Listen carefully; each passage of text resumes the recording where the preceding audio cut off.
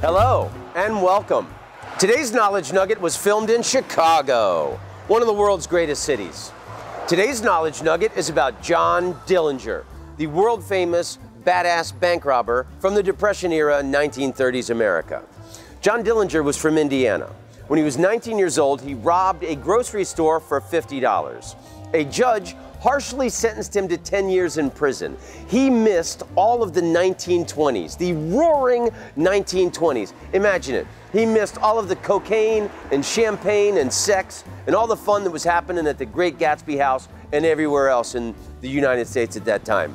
He gets released from prison in 1930, in the middle of the Depression. He said, When I get out of this jail, I'm going to be the meanest son of a bitch that this world has ever seen.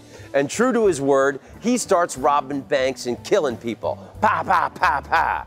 And the people of the United States, he became a folk hero and they loved him because so many people had been screwed by the banks. They were happy to see someone screw the banks, even though he was killing people while he was robbing the banks. The FBI invented the term public enemy number one for John Dillinger.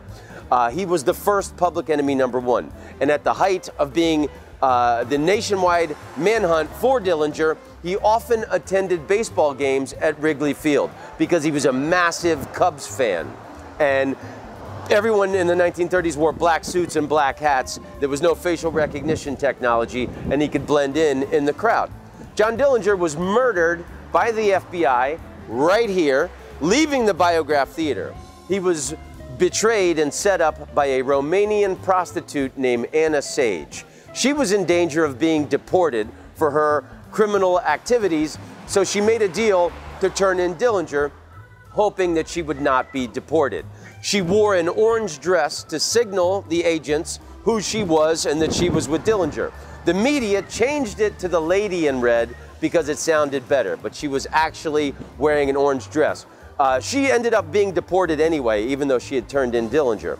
They gunned him down in cold blood, murdered him right here on the streets of Chicago. And the citizens loved Dillinger so much, they took handkerchiefs and put it in the blood to get a souvenir of John Dillinger. The last movie he saw was starring Clark Gable, and it was called Manhattan Melodrama. And that is today's Knowledge Nugget.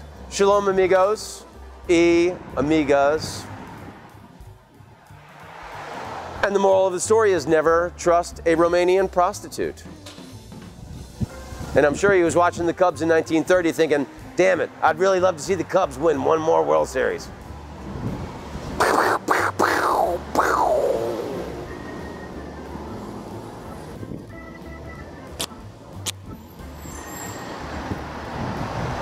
Happened right there.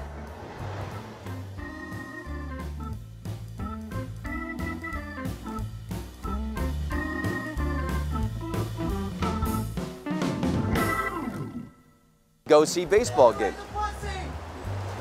Ha ha ha ha! That this world has ever seen.